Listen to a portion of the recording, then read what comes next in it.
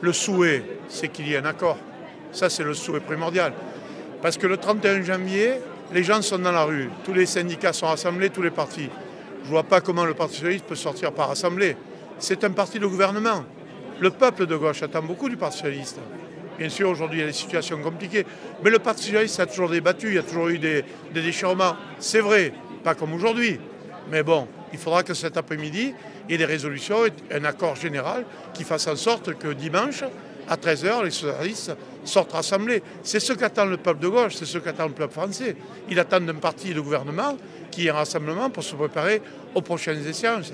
Et notamment le combat dans la rue. Il y a un combat social aujourd'hui sur le pouvoir d'achat, sur la retraite de 64 ans. Il y a tout un mouvement social qui attend les socialistes, non pas divisés, mais rassemblés.